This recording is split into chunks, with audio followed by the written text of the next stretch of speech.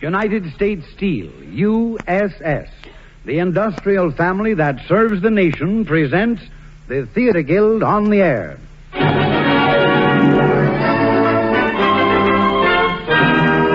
Our stars, Judith Anderson and Helen Menken. The play, The Old Maid, by Zoe Akins, from the novel by Edith Wharton. Produced on the air tonight by the Theater Guild, one of America's foremost theatrical producers.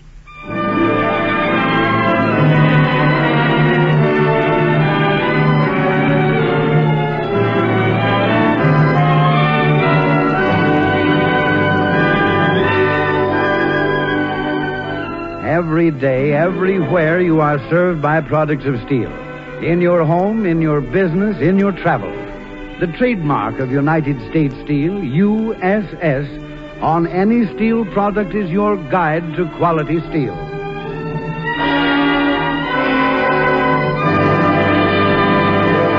And now, direct from the stage of the Vanderbilt Theater in New York, the United States Steel Corporation brings you The Old Maid by Zoe Akins. And here is Roger Pryor speaking for the Theater Guild.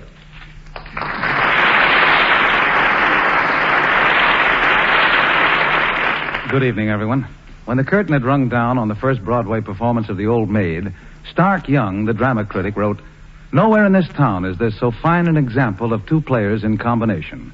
Judith Anderson and Helen Menken share, to an extent that is rare, the playing of two great parts that are equally weighed. Tonight, the Theater Guild presents Judith Anderson and Helen Menken in their original roles, supported by Estelle Winwood, Patricia Kirkland, Taylor Holmes, and Wesley Addy in Zoe Akins' Pulitzer Prize winning drama, The Old Maid.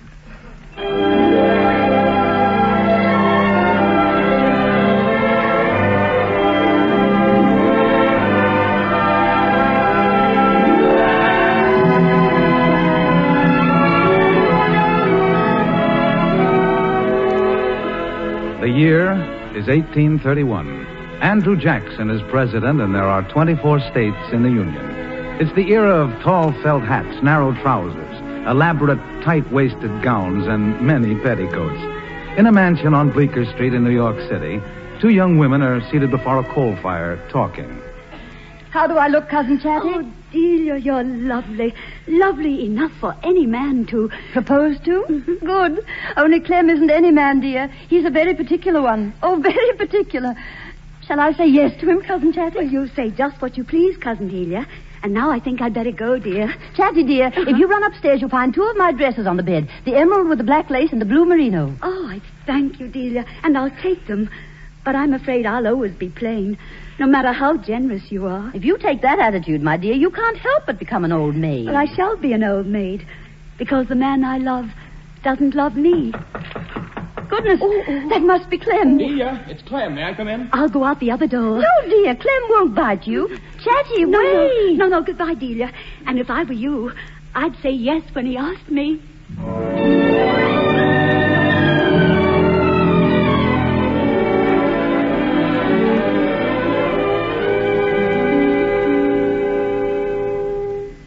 My dear, I do love you. If only, If only what? only Delia? you didn't have to go away. Why must you? Because I want to learn to paint. In Paris and Rome, darling, there are people who can teach me. But Clem, dear. I owe myself that, Delia. Just, just one year to find out if I'm any good. Of course you're good, darling. Everybody says so. Will you wait until then? I'll wait, dearest. But it will be so lonely. Oh, don't spend so much time by yourself. Get out a little.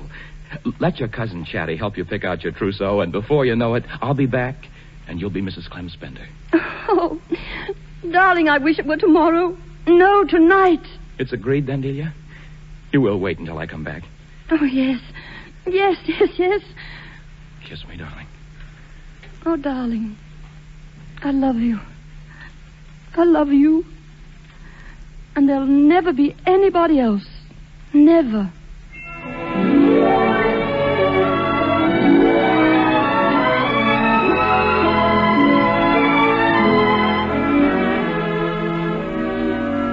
Two years later, 1833. Upstairs in her bedroom, Delia adjusts her wedding veil and gazes into the mirror.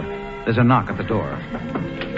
Delia, are you almost ready? Cousin Chatty, come in. They've gone downstairs. Your father and Jim and Dr. Lanskell and Aunt Carrie's here. She came all the way from Italy just for your wedding. Chatty, darling, quick. I need something blue. Oh, and I have it right here in this little box. I was instructed to bring it up to you. Were you by whom? Clem. Clem Spender. Clem. Is he. I thought he was in Italy. No, he's here, Delia. He arrived today. Today. Why, it's a turquoise. A turquoise pendant. Something blue. That's what he said. Oh, it's lovely. Did he tell you why he came back, Chatty? Well, he didn't know that you were going to be married, Delia. He thought you must be ill because you stopped writing. And he came home to find out. That's the Mozart. The wedding march is next. Mm-hmm. Oh, Chatty, I'm afraid. Of what, Delia, dear? Of Clem, of what he may say or do. There'll be champagne, and he, if he should take a glass too much, oh, watch him, Chatty, will you? Be, be kind to him. I mustn't cry. No, you won't. Just keep saying to yourself, I'm marrying a Ralston.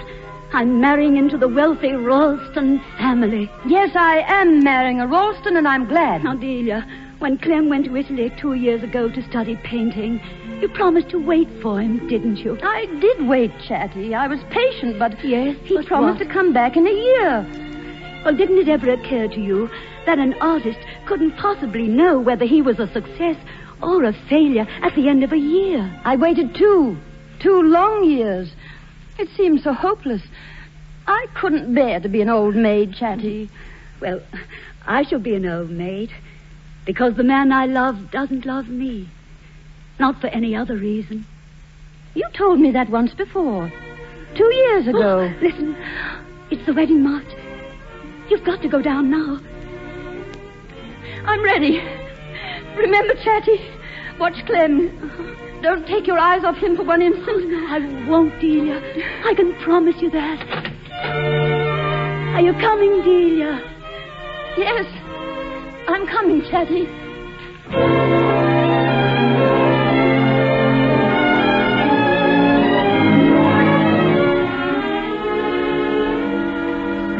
Six years went by.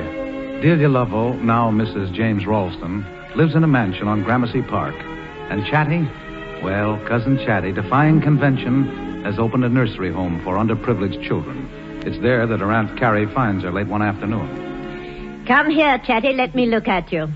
Well, I always said you'd never be an old maid, even though you were plain. I know you did, Aunt Carrie. How old are you? Don't tell me. Twenty-seven, isn't it? Uh-huh. And engaged to be married at last. How on earth did you and Joe Ralston ever happen to take a fancy to each other after all these years? Well, Joe and I have seen a lot of each other since Delia married his brother.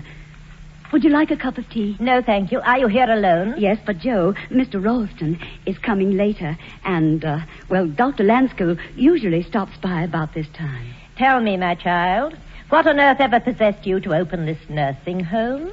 What pleasure can you possibly find in taking care of unfortunate children? Well, Aunt Carrie, five years ago, while you were abroad, I was very ill. they called it lung fever. Yes, dear. I- We all expected you to go like your poor father. Uh, well, I went down to Virginia, where I recovered.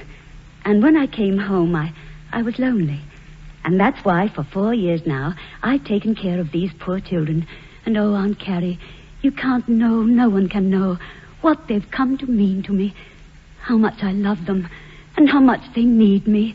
No doubt your efforts are meritorious, dear. Aunt Carrie, do you think that I should give it all up now? Now that I'm going to be married? Well, that depends on your fiancé. How does he feel about all Well, this? I, I haven't discussed it with him yet. Oh, I do hope you'll understand. What I can't understand is why you're so attached to these poor infants. Is it a sense of duty? I have just told you. You told me you were lonely and you became attached to some homeless waifs. Why? Well, because I love them. Because they need me. Very well, my dear. We'll let it go at that for the time being. And now I'll have that cup of tea, if you don't mind, while we wait for your fiancé.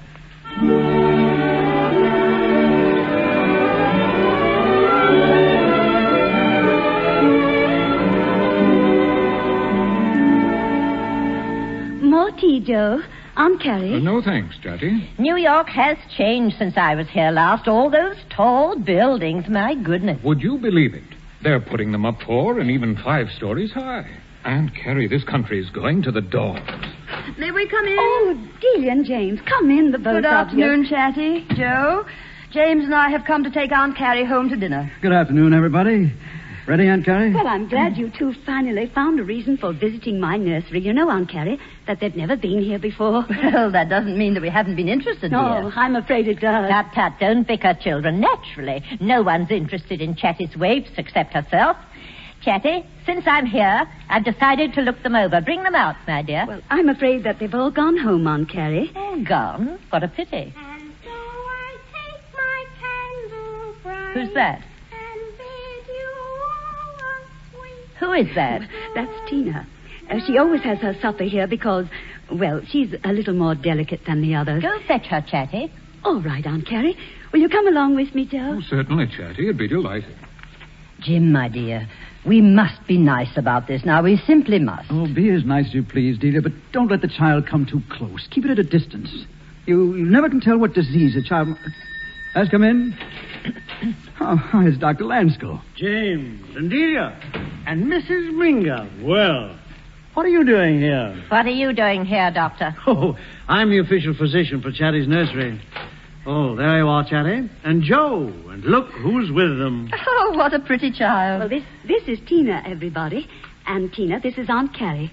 Well, what do you say to her? I am very pleased to make your acquaintance. Thank you, my dear. What is your name? Tina what? Hmm? I said, what is your other name, child? Clementina. That's very pretty, but your other name. No, I'm afraid she doesn't understand. Oh. How old are you, Clementina? Five. But don't you know your parents' name, No. dear? No, she doesn't. Oh. Do you know where you live, dear? Doesn't she know where she lives? Oh, yes, Mrs. Mingott, She knows. She lives in a shanty way uptown. 22nd Street, I believe, with a Negro family. 22nd? You can't mean she isn't a hundred dollar baby? Well, is she? I don't understand. I mean, the baby who was left several years ago at the door of one of those disgraceful shanties out on Broadway near 22nd Street with a hundred dollar bill pinned to its bib. Oh, you must remember the sensation it made. Why, somebody even wrote to me in Paris. Just a moment, Aunt Carrie. Chatty, Yes, Delia. is this the hundred dollar baby? Well, I'm, I'm afraid that we'll have to ask Dr. Lansco. He brought her to me. Is she, Doctor? Yes, of course she is. Oh. What an attractive child. Come here, Tina. Would you like to sit on Aunt Delia's lap? All right. Then come on up. That's a good girl. you know, Tina, I'd give anything in the world to have a little girl like you. Don't you have any children at all? No, Not even one? not even one, dear. Delia, if we're going to get home before dark. All right, James, in just a minute. I like you. Why, Tina, darling. Why, that's the first time I've ever seen her put her arms around anybody, Delia. She must like you. Come along, Tina. Come along. Aunt Delia must go home. Why must she? Because we've invited Aunt Carrie to dinner, Go dear. on, say it, and we can't keep her waiting because she's always Now, hungry. Say goodbye to everybody, Tina. Goodbye, Auntie Delia. Goodbye, dear. And I'll come and see you again. You're coming, soon. Aunt Carrie. Uh, how about you, Joe? Like to have dinner with us? Oh, no, thanks, Jim. I think I'll stay a while and talk to my fiancée. That is, if she doesn't mind. Oh, mind. no, Joe, dear. I don't mind. Why, there's something that I, I want to talk to you about, too.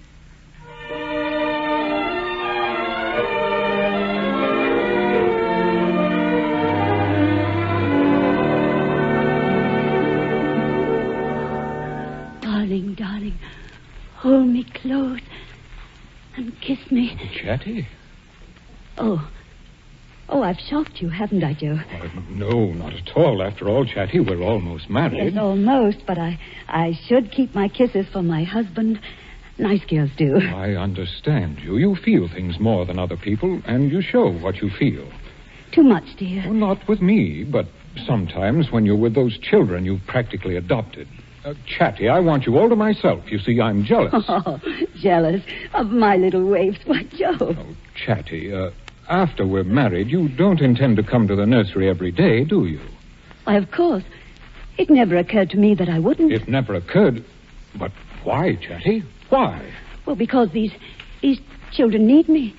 Because it's my my duty. Duty? A married woman's first duty is to her husband, her home. Why, Joe, you don't mean that you're expecting me to desert That's them. exactly what I mean. Oh, no, no, Joe, I can't. I, I won't. They, they need me. I need you. But it's not the same thing, Joe. I'd be giving them only a little part of each day. Oh, Joe, don't be a Ralston, scared to death of anything that everybody else doesn't do. Well, I am a Ralston, and proud of it. Oh, Chatty, if we quarrel now, we might never make it up. Yes, I know that. I'm, I'm thinking of that. I'm thinking of everything. But, Joe, it's not fair of you to ask me to give up these children. Very well, it's not fair, but I ask it all the same. I'm going now, Chatty. I'll be waiting for you to send for me when you see things my way. Goodbye. Joe! Joe! Oh, my dearest. Miss Chatty, it's dark outside. Can I sleep here with you tonight? Oh, no. No, my darling, I've, I've got to take you home now. Why are you crying? Well, because. Oh, Tina, come. Come here and sit on my lap. Let me hold you close, my darling. Oh, my baby. My own darling baby. Whatever will become of you?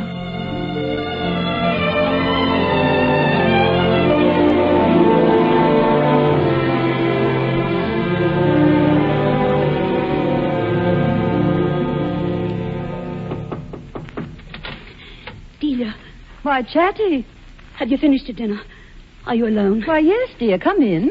Dear, Joe and I, we may not be married. Uh, Chatty, are you crazy? What is the matter, dear? Have you and Joe quarreled? Have we? I don't know. I oh, don't know. sit in that chair beside the fire. There, now tell me. Delia, I want you to help me. Help you, but how? Those poor children.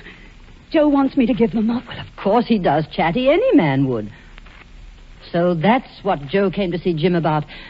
Chatty, don't you expect to have babies of your own? Now, surely they're entitled to first claim on you. That's just it. How can I give up my own baby? What? What did you say, dear? I said, how can I give up my own baby? Yours. Oh, oh which of those poor children do you call your own baby, my dear? Call my own baby my own baby. Your own. Your own. My own little girl. The one who lives in that shanty, the hundred dollar baby. She's my own. Chatty. My poor, poor Chatty.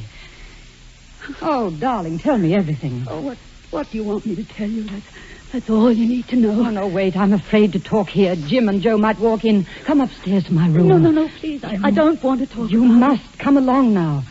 That's right. You oh. must tell me everything. Everything. All I want to do is to help you.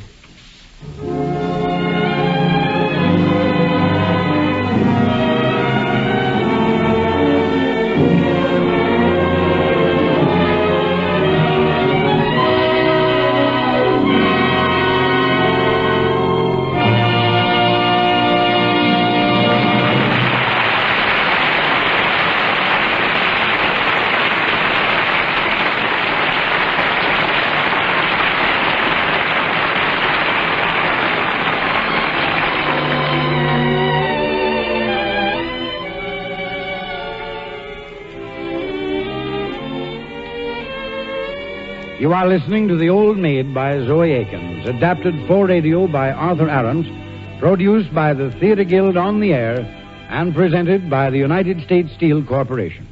And here speaking for United States Steel is George Hicks. Good evening. With only eight more shopping days left until Christmas, I'd like to offer you a couple of suggestions that may save you much needless confusion, expense, and disappointment with your late Christmas buying. The first suggestion comes from a friend of mine who has an important job in a big New York department store. He says, take time at home to make a careful list of exactly what you want to buy and where you want to buy it. Then get to the stores as early next week as you can and before noon if possible. That way you'll be far more apt to get what you want. You'll get better service. And you'll finish your shopping in far better condition physically, mentally, and financially. Now, my second suggestion has to do with any late Christmas purchases you may make of things made of steel, like stainless steel watches, cutlery, kitchenware, and costume jewelry, as well as radios, refrigerators, washing machines, bicycles, toys, and literally hundreds of other items in which steel is either the most important material or one of the most important.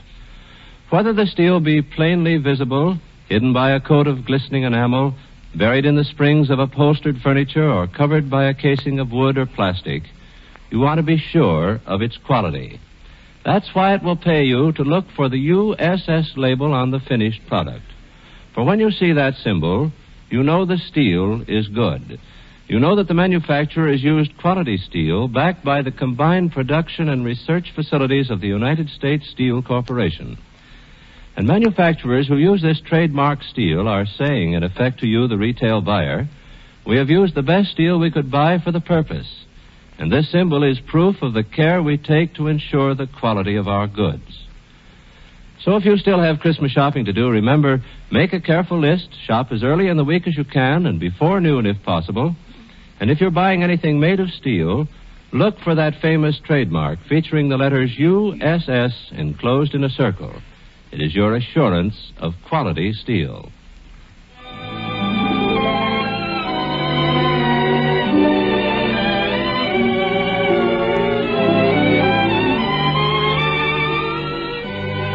We pause now for station identification. You are listening to KECA Los Angeles.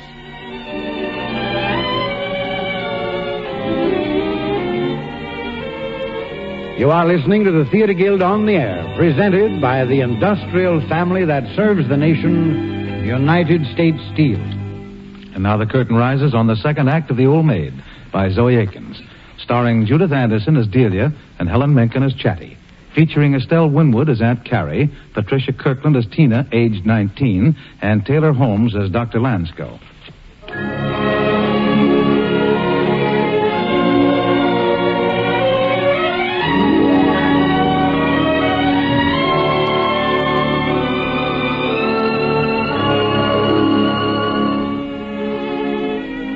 Few minutes later. Chatty has just told Delia that little Tina is really her own child. They've gone to an upstairs bedroom to talk things over. Sit down, dear. Just one moment and I'll turn up the wick. No, I'd, I'd rather be like this, in the dark. Chatty, was it when you were in the South, after you were ill, that. Or was that why you went South? Well, of course. That's why Dr. Lansco sent you. You loved someone. Yes, but that's all over. But it wasn't Joe Ralston you loved. No, not then. But now? Now. Oh, yes, now. That's why I want to marry him. Because I love him. Not because he's a Ralston Delia. Not even because I thought I'd have money for my baby so that she'd never have to be sent to an institution. I can't give up my baby, can I? Now, we're just sitting here alone in the dark. Now, you can tell me everything. No, I really don't want to tell you everything, Delia. All I want you to do is help me. Have you thought of telling Joe yourself? No, I couldn't. He'd, he'd never forgive me. He must never know. No, of course not. Chatty, dear, we're talking as if you didn't have to consider the person who who took advantage of you. After all, he's your child's father. No one took advantage of me. We were both lonely and unhappy. Besides, he, he never thought of marrying me. I knew that even before he went away. Uh, He went away, yes. knowing. No. No, I didn't know myself then. Oh, but afterwards. What about no, afterwards? he never knew. He never came back. But, darling, shouldn't he have known after all? Why? He couldn't have helped me. He was in no position to marry anyone. Besides, he. He didn't love me. He loved someone else. Where did he go? What does it all matter? You you wouldn't understand. You won't tell me who it was? No, I've never told anybody. How can I help you if you don't trust me? But I've told you all that you need to know. Where did he go, Chatty? Out of the country to. to Italy? Oh, Then it was to Italy. It was Clem Spender. I told you he loved somebody else. It was because you hadn't waited for Stop him. it. I knew it. I knew you wouldn't forgive that. Oh, but you've got to listen to me now. I've been in love with Clem ever since I was a girl. But he never looked at anybody but you until that time at your wedding when you asked me to look after him. And after that, he began coming to me for, for sympathy. And I was so sorry for him. I, I loved him so much. Oh, Chatty, how could you? How could you? When he didn't even pretend to I love you. I shouldn't have told you. I knew you wouldn't understand. Hadn't you any pride at all? You needn't be so contemptuous. I, I've never been sorry, not, not really sorry. And he's never known about the child. No. Why should he? It's nobody's business but mine. Besides, that's over. It's all over. There's nothing left of anything I ever felt for him, except my baby. Why did you come to me? What did you expect me to do? I want you to persuade Joe, he is your brother-in-law, that I should be permitted to go to my nursery every day so that I can see my baby and, and watch over her. And if he won't do that, then maybe you can help me to get out of this marriage as decently as possible with, without hurting him. Don't you think it's hurting Joe to marry him with such a secret on your conscience? Suppose he finds out. Oh, I've got to risk that.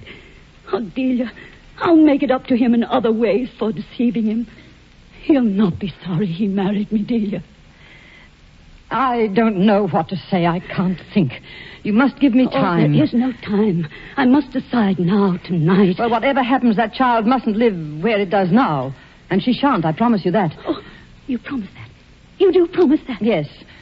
But I must manage it in my own way.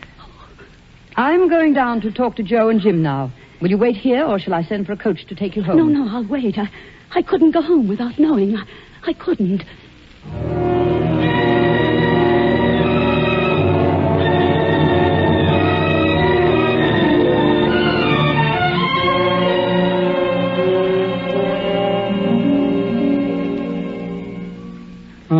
There you are, dearie. We've been looking for you. What? Oh, darling, you look pale. Sit down, dear. Uh, Delia, uh, Joe has something on his mind that I've advised him to consult you about. I think I know what it is. Chatty's been here. Then she's told you? What shall I do, Delia? Chatty is very interested in those children, Joe. Surely you must have noticed how fond she is of that little girl, Tina, that we saw today. Yes, I understand that, but why shouldn't she go on being interested in them, fond of them even, without seeing them every day? And there's another reason I'm against it her health. Her health? Oh. Delia, Chatty's father died of the lung fever. Chatty had that same condition. She cannot go on taking unnecessary risks by exposing herself to those youngsters. Joe, if Chatty chooses these miserable children instead of you, I don't see what you can do but. Well, if she chooses them, it's because she thinks she's doing what's right. And in that case, I guess I'll have to be the one to give in. You mean you've really decided that Chatty is to do exactly what she likes Exactly as she likes. I love her enough to put up with. Oh, where is she? I'm going to tell her now. No, it's no use. What? It's no use, I tell you. Chatty can't marry you. She can't marry anyone now. I. I don't understand you, Delia. Chatty's ill again. She coughed blood in this room a minute ago. What? Do you know what that means? She can't marry anyone, I tell you. What? Why wasn't I told at once? Well, because such things aren't easy to tell. Joe, Delia's right. If poor Chatty's ill again, marriage isn't to be thought of. But I. I can't give her up. I, I can't. Where is she? I must see her. No, you must let me see her first. I've got to tell her I've told you. Oh, this is hard for her, too, you know. Go home now, Joe. And since you've asked for my advice, here it is. Put all thoughts of marrying Chatty out of your mind for good.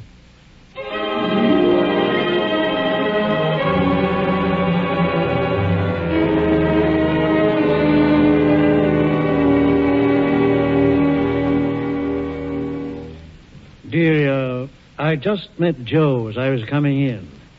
He told me. Why did you do it, Delia? Dr. Lanskell, Chatty didn't go south because of her illness, but I know why she went. Oh. That's why she mustn't marry Joe. Who decided that? Did she? No, I did. With or without her consent? Without? You've taken a great deal upon yourself, Delia. You think I've done wrong? I think it's a sacrilegious thing to lay so much as a finger on another person's destiny. But she came to me herself, begged me to help her, so she wouldn't have to give up her child. This was the only way. I wouldn't help her to deceive Joe. I wouldn't connive at a lie like that. not to my husband's brother. Well? But I feel that I can make it up to her by caring for her child. You know, Doctor, I have no children. So I'm going to take the little girl myself. Chatty's little girl. Chatty's and Clem Spender's. You see, I know everything. If you're counting on me to back you up in this lie, I'll make one condition. And what is it? That you're not to take Chatty's child from her. But it's the only way. And after all, if she's willing to let her live in that Most shanty... of you have forgotten that the Negro woman who found the child on her doorstep was Chatty's own nurse when she was a little girl. No doubt you mean well, Delia, but each of us has the right to love and suffer, to lie or to tell the truth, after his own fashion. And now that Chatty has put herself at your mercy, be generous to her. Don't judge her. And above all, don't try to take from her the one thing that is really her own. Good night, Delia.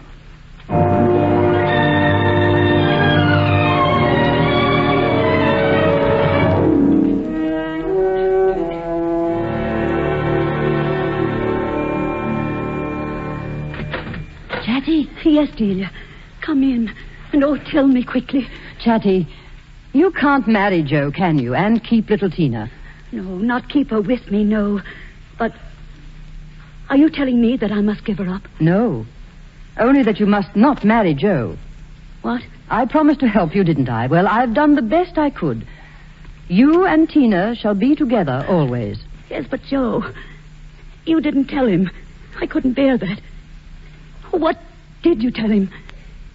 That you were coughing blood again. Oh, Delia, how could you? I had to tell him something. If you're to keep your child, Chatty, the engagement has to be broken. So you frightened him away.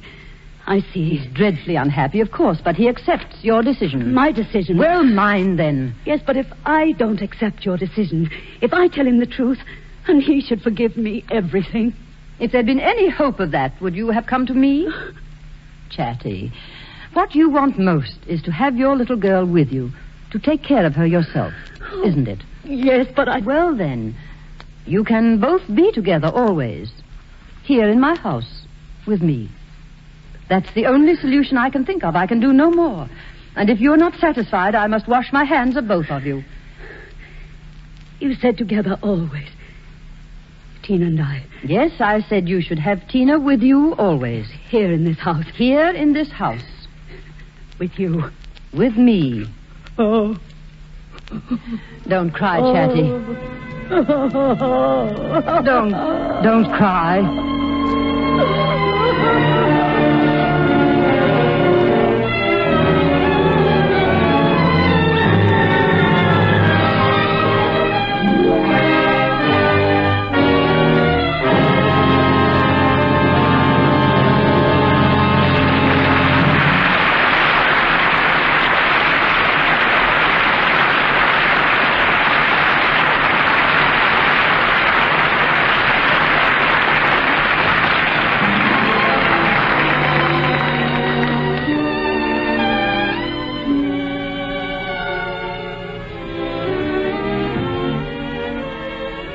Are listening to The Old Maid by Zoe Akins from the novel by Edith Wharton, produced by the Theatre Guild on the Air and presented by the United States Steel Corporation. And here again, speaking for United States Steel, is George Hicks. Tonight, open hearth furnaces are again glowing steadily all over America. The steel mills are once more hard at work making the metal that our country needs in enormous quantities. And that hard work is accomplishing a great deal. During the past year, in the months when labor difficulties did not interfere with production, the steel industry set new peacetime records in producing that metal. This means a great deal to you because steel helps to make almost everything you use and helps you in almost everything you do. Record breaking steel production means that before many months have passed, you will again be getting the things you want and need. Right now, there's still not enough steel for everyone. Wartime conditions caused an overwhelming demand. But the production records of the American steel industry mean that the demand will be satisfied, and every steel man hopes that will be done before long. Naturally, the United States steel family is working hard to supply its share. It's doing its best to speed the day when there will be no more shortages of steel and steel products. United States Steel is glad to be working hard because every member of the U.S. Steel family, worker, and stockholder knows that he's a part of the basic industry on which all American industries are built. They know that jobs for millions, as well as homes and conveniences and comforts for all, are dependent on an ample supply of good steel. So they're working to produce that steel, steel they're proud to have the manufacturer identify with the USS label when used in his product. Producing great quantities of quality steel to make the things we all use is the major job of the industrial family that serves the nation, United States Steel.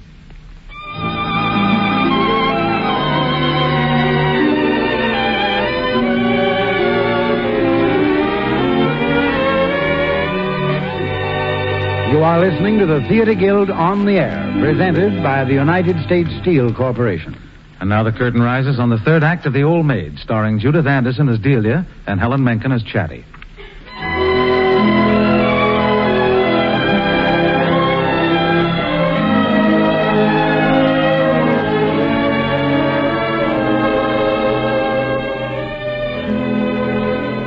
14 years later. New York City has moved northward now. Even 34th Street is no longer considered a suburb. The house on Gramercy Park has changed too. The decor is early Victorian now. And Chatty Delia, but she's not too happy about it, as you can hear her tell Dr. Lanskell. And, Doctor, Delia has done her best to spoil Tina from the day she brought us here to live.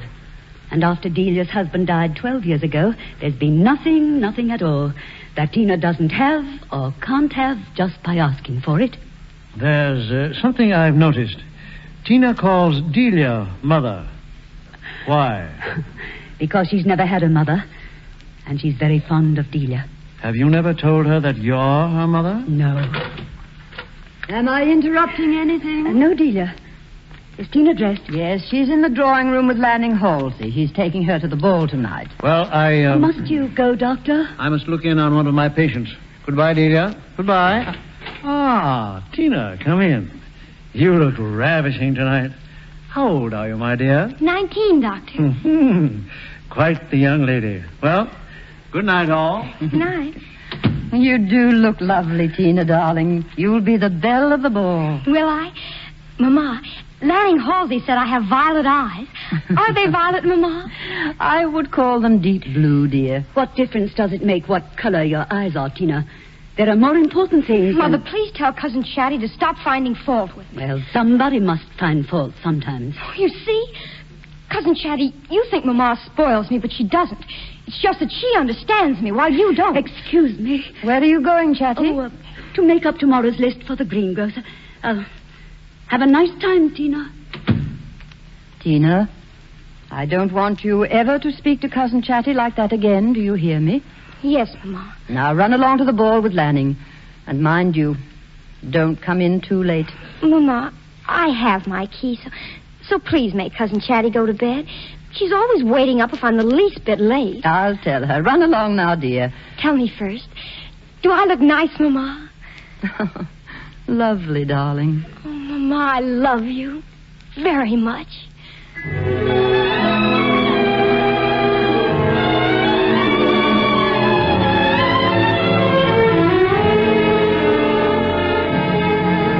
Chatty, I scolded Tina because of the way she spoke to you. I tried to make her realize it was disrespectful. She thinks I can't understand her. She considers me an old maid. A ridiculous, narrow minded old maid. Chatty, my dear. Oh, you needn't pity me. She's really mine. I do scold her. But I don't want to be hard on her. you know, I I have a technique all worked out. What kind of technique? Oh, I, I practice what I'm going to say to her. I repeat it to myself in advance over and over so that I'll sound like an old maid cousin talking. Not a mother. Poor Chatty. Do you think Lanning Halsey will ask Tina to marry him, dear? Unfortunately, my daughter has no fortune and no name. And every careful mother we know has warned her sons against becoming interested. Chatty, Tina's happy with us here. She doesn't need to marry anyone. My child an old maid, like me. Never. My child shall have her life. But she's not yet twenty. Wait. I'm afraid. What if she doesn't wait? Chatty, Do you know what you're insinuating? Yes, I know, But I it's know. outrageous. No girl who is decent would ever. Surely you trust your own child. My mother trusted me. Are you going to sit up for Tina? Yes. Why? She has a key. I just told you why. Good night, Chatty. Good night, Delia.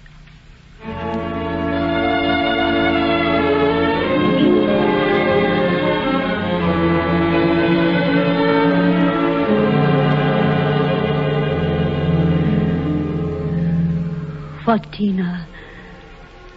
What's that you said, my darling?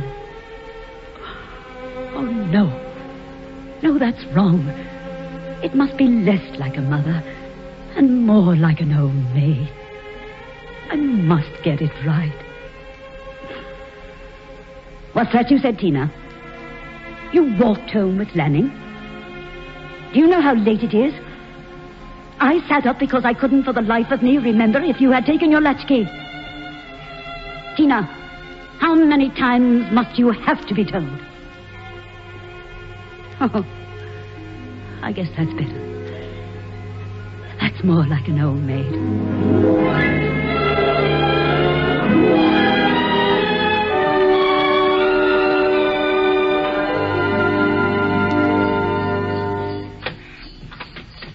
Night, Lanning, and, and thank you for a lovely time. Must I go? No one's about. Let's let's just sit here in the foyer. All right, for, just a minute. This is very wicked of us, Lanning. Is it? Why? You're going away to Europe? Darling, when I come back, things will be different. What what sort of things, Lanning? With us, darling. You What's the matter? I thought I heard somebody in the drawing room. Who'd be up at this hour? Did you really have a good time tonight, Tina? Oh, I loved it. The snow and the moonlight and the icy trees in the square. And being with you at last. All alone. But, Tina, darling. Oh, my dearest. Oh. Darling, that was my first kiss. And I shall never kiss anyone but you. Ever. What's that? There is someone in the drawing room. Cousin Chatty, it must be. Oh, oh.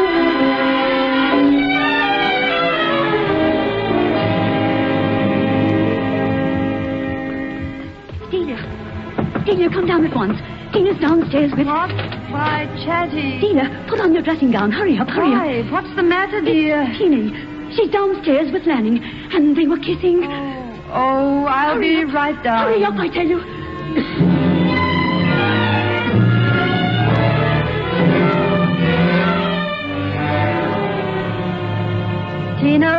Is that Lanning Halsey with you? Uh, yes, it is, Mrs. Ralston. I've just brought Tina home. I, I was just leaving. Good night, Lanning. Mrs. Ralston, I'd just like to say that it's ever so nice of you not to scold me for being here. Oh, good evening, Miss Chatty. Good evening, Mr. Halsey. Yes, Tina. Yes, Delia. Don't you scold him. This is Tina's fault, not his. Any boy would do the same if she permitted it. Permitted what? Just a moment, Tina. I want it distinctly understood that this is not Tina's fault. No, well, no matter who's to blame this time, it's not to happen again. I hope you both understand that. Miss Chatty. Delia, will you kindly tell Mr. Halsey not to come here again? Mama, tell Cousin Chatty to take that back. Tell Annie he's to come when he wants to. Tell him, Mama, it's your house, not hers. Don't bother, Mrs. Ralston. I'm sailing next week, and I'd only have come to say goodbye in any case. Goodbye. Yes, that's the only thing I can say in the circumstances. Good night. And goodbye, Tina. Don't go. Don't go. Cousin Chatty, do you know that I love Lanning Halsey and you've driven him away? Oh, no, my child. I've not driven him away. If he's not coming here again, it's because he found it awkward. And he has no intention of marrying a girl who's so free with her kisses. That's not true. That's not true. Tina, you don't think for a minute that anything I could say would drive him away if he really cared for you, do you? Cousin Chatty is right, Tina. If Lanning goes, it's because he doesn't care as much for you as you think. But he would have cared. I'd have made him care. Now I can't. Now he's gone, and I'll never forgive her, never. Tina. Cousin Chatty, you have no business to meddle. Whatever I do is no concern of yours. Tina. And if you ever do it again, I'll never speak to you as long as I live. Go to your room, Tina. I'm going, Mama. But before I do, she's got to know that I'm sick of her fault finding and her spying and her meddling. You can say what you please me because you understand me and I love you. She's only a sour old maid who hates me because I'm young and attractive and alive. Or, or she's old and hideous and dried up and has never known anything about love. I won't have her interfering with my life, I tell you. I won't have it.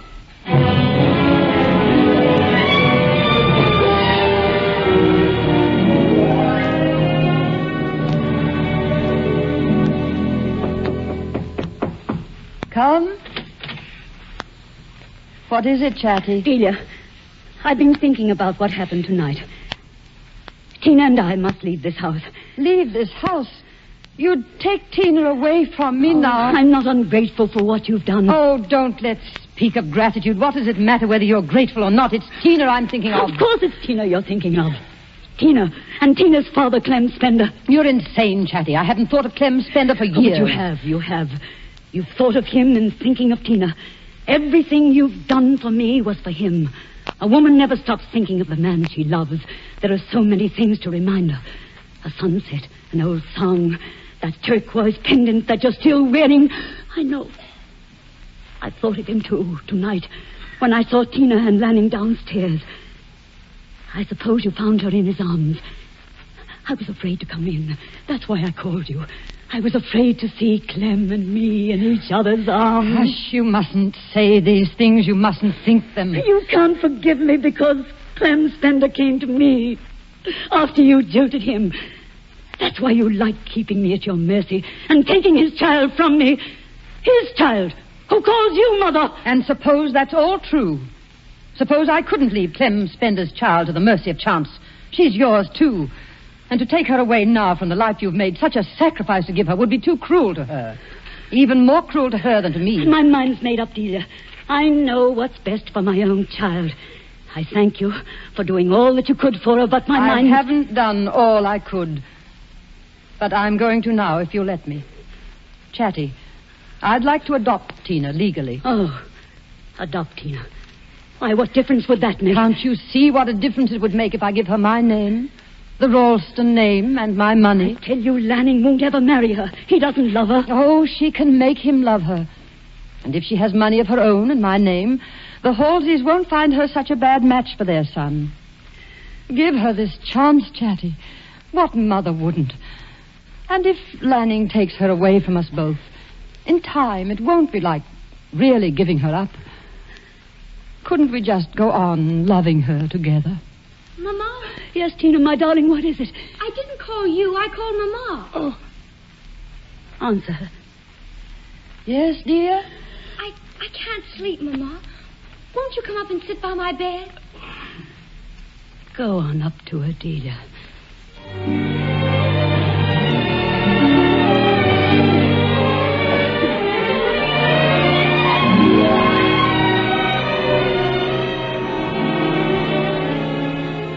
Following June.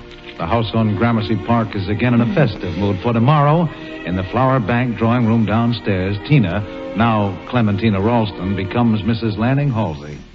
It's awfully good of you, Aunt Carrie, to come back for Tina's wedding. I know. I'm not as young as I used to be. Thank goodness the next one won't be for at least 20 years. I hope to be dead by then. well, Chatty, have you decided to sit down for a minute? You must be tired, dear. Please sit down. no, no, rest. no. I'm, I'm all right. I guess everything's done that can be done tonight. Let me see. Are 200 plates of ice cream about enough? And oh, my goodness. I forgot all about the doilies. Excuse me. Excuse me. I'll, I'll be right back. Do you know what? I do believe poor Chatty is really happy. You'd think it was her own daughter getting married. Well, good night, my dear. There you are, Mama. I've been looking for you. Oh, good evening, Aunt Carrie. And your great aunt, my dear, please show me the proper respect. And now I really must get to bed. Good night. Did you want to tell me something, darling? Only that I'm going up to bed and and will you come up and say good night to me, please? Of course. Promise? I promise. Thank you. Thank you for everything. Ah, nonsense, darling. oh, I know, Mama. I know what I owe you. More than I'll. Well, now the doilies, we're upstairs. Come in, Cousin Chatty. I, I was just telling dearest Mama how much I owe her. that I'll never be able to repay. Oh, go on. I don't want to interrupt anything. Go on, I say. Well, it's it's just that I used to wonder who I really was. But I don't care now. Mamma, dear, I'd rather have you for my mother than anyone in the world. Thank you, dear. But you mustn't forget your cousin Chatty. She's been just as interested in you as I have. And she loves you just as much as I do. Go to bed now, dear. You won't forget your promise. I won't forget. Then good night. What promise? What promise I did promised, you make, Delia? I promised her before she goes to sleep that I would. Yes, that you would. Well, you agree, don't you, that a word ought to be said to the child before her marriage as to her new duties and responsibilities? Of course. I understand. But please understand me too, Delia. If I ask you not to. Chatty, you surely feel that on the night before her wedding, a girl ought to have her mother's counsel. Well, naturally. That's why I must be the one to talk to Tina tonight. Just tonight. I'm her mother. Chatty, you're not going to tell her that. Not now. Oh, do you hate me for it as much Hate as all that? you? What a word to use between us. Word that's been between us since the beginning. You've hated me ever since you knew that I was the mother of Clem Spender's child. Because his child is mine instead of yours. Chatty, you believe I hated you only because you yourself have hated me. Hated me in spite of everything I've tried to do for you. It's wicked of you, Chatty, wicked. That's not true. I'm not wicked. I would never have done to you what you've done to me. I've done... Yes. From the beginning, you deliberately divided me from my daughter. Do you suppose it's been easy all these years to hear her call you mother? Oh, I know it was agreed between us that she must never guess the truth. But you needn't have perpetually come between us if you hadn't. She'd have had no one to turn to but me. She'd have had to love me. And that's why, tonight, just tonight, she belongs to me. I won't let her call you mother tonight. And I'm going upstairs to her room right now.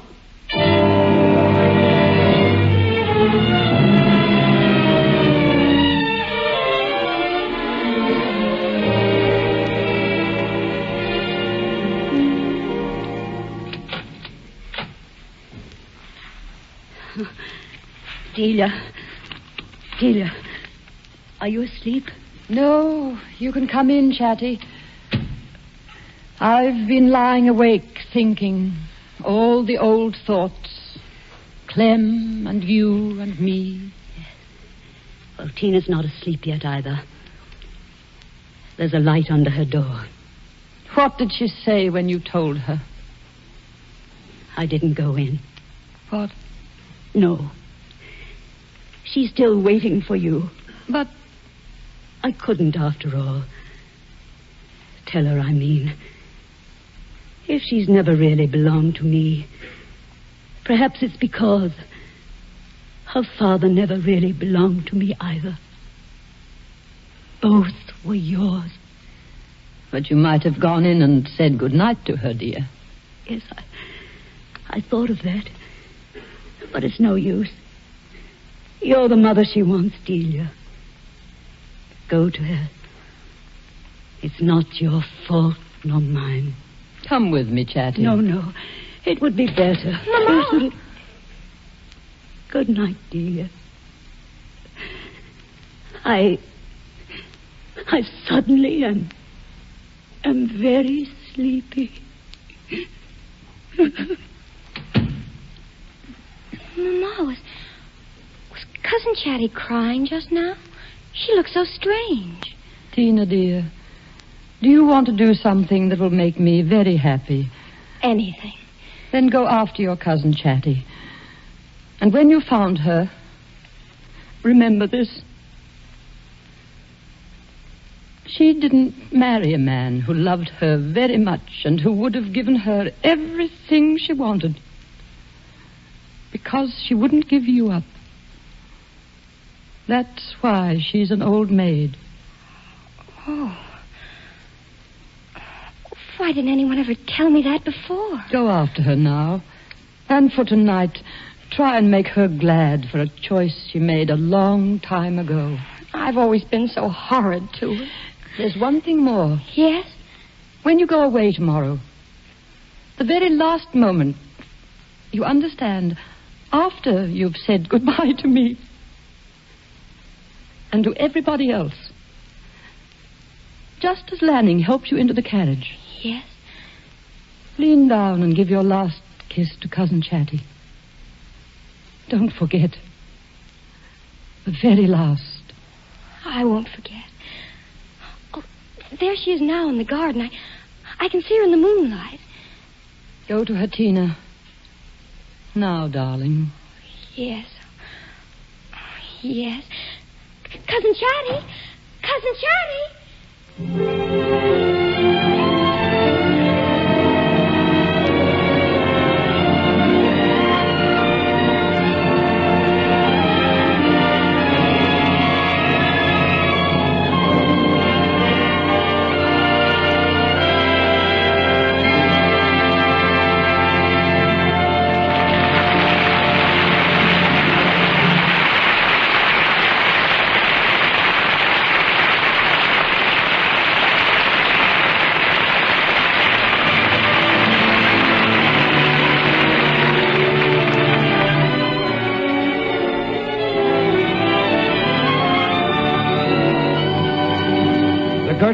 Fallen on the Theatre Guild on the air production of The Old Maid by Zoe Akins from the novel by Edith Wharton, sponsored by the United States Steel Corporation. Judith Anderson was starred as Delia and Helen Menken as Chatty. Aunt Carrie was played by Estelle Winwood, Tina, aged 19, by Patricia Kirkland, Dr. Lanskell by Taylor Holmes, Joe Ralston by Wesley Addy, Lanning Halsey by Jack Manning, Jim Ralston by Chet Stratton, Tina, aged five, was played by Jimsy Summers, and Clem Spender by Lamont Johnson. And now, here is Roger Pryor with a word about next week's play. Next week, ladies and gentlemen, the Theatre Guild brings you a rollicking regional comedy, Papa is All. Set in the colorful Pennsylvania Dutch community of Lancaster County, starring Oscar Homolka and Aline MacMahon, and featuring Peggy Conklin and Elliot Reed. Be sure to be with us next week when we discover what happens to Papa when Papa is all.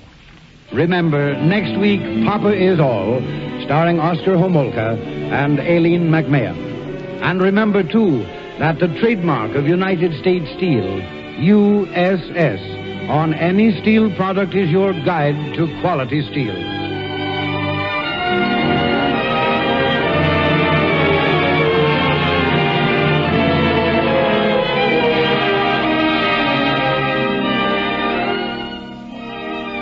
Theatre Guild on the Air is under the supervision of Theresa Helburn and Lawrence Langner, with Homer Fickett, director, Carol Irwin, production executive, and Armina Marshall, executive director of the radio department. Music was composed and conducted by Harold Levy, and the play was adapted by Arthur Arent. Here's how you can lend a hand in the fight against tuberculosis. Buy Christmas seals. And if you have received a letter on behalf of this year's sale of Christmas seals, please answer it. Do it today, won't you? Your announcer, Norman Brokenshire. The United States Steel Corporation hopes that you'll be with us next Sunday at this same time.